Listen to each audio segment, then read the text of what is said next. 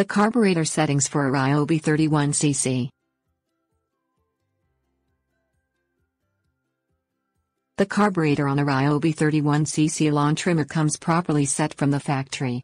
Over time, as the trimmer ages, the carburetor may need a few minor adjustments to achieve its original factory settings.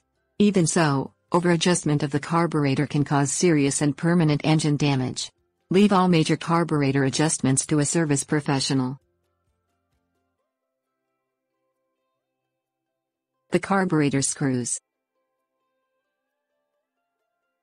When the throttle opens the intake valve on the carburetor, fuel flows into the carburetor in an amount that matches the engine's speed. If the valve opens too far or not far enough, the engine will get either not enough or too much gas, and performance will suffer as a result. Two screws regulate these settings. The idle screw regulates the idle and low speed amount of fuel flowing into the carburetor. The high speed screw regulates the amount of fuel flowing into the carburetor at its wide open position. Carburetor settings. To achieve the proper speed, the high and low speed screws need proper setting. This can only accurately be done with a tachometer, which counts the amount of sparks and measures the RPMs of the engine. The idle speed for a 31cc Ryobi trimmer needs to run at a speed of 2,800 to 3,300 revolutions per minute. The high speed, or wide open throttle, for the trimmer needs to run at a speed of 7,000 to 8,300 revolutions per minute. Before adjusting carburetor,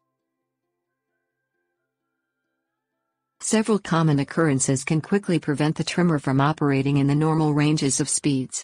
Before the carburetor can be reset, the operator should check and make sure the air filter is thoroughly cleaned or replaced if it is too dirty. The operator will also need to dump out any old fuel left over in the tank and mix up a fresh batch, using a 50 to 1 ratio of gasoline to 2 cycle engine oil. This amount will ensure the carburetor can suck in air and fuel at the proper rate. Setting the carburetor.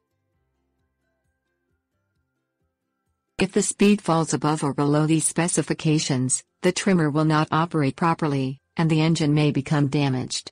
The operator will need to adjust the high and low speed screws clockwise to increase speed or counterclockwise to decrease speed. Since damage can occur quickly if done improperly, the operator will need to use a tachometer. The carburetor screws are usually located on the side of the carburetor nearest the fuel tank. A small screwdriver will be required to adjust these screws without damaging them.